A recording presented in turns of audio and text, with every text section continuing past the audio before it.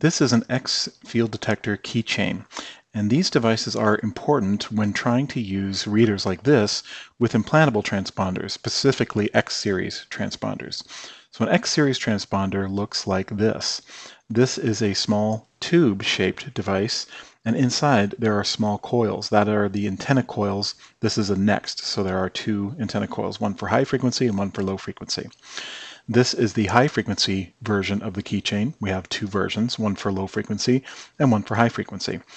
When you're using a reader like this, it's important to be able to find out where the antenna structure is inside the reader. Because when you present a card, something like this, when you present that card, the antenna in the card matches fairly accurately the shape of the antenna in the reader. So you get a very easy to use device. You just tap just like that. Pretty much anywhere close will get a good read, even over here. But when it comes to very small devices like this, with very small cylindrical coil antennas, it's much more difficult. And what you need to do is present this device perpendicular to the antenna that's inside the reader. And that looks something like this. So you'll notice that when I present the device, there's no chip inside, so the reader doesn't beep, but it lights up and I know the antenna is here. So I'm going perpendicular to the antenna and I can see the LED light up. But if I go away from that antenna, the LED stops flashing.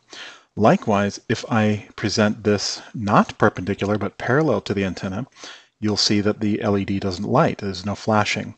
It has to be perpendicular. So again, if the antenna is a rectangle, then I can presume to be able to present this device this way here and we can see the LED does in fact light up.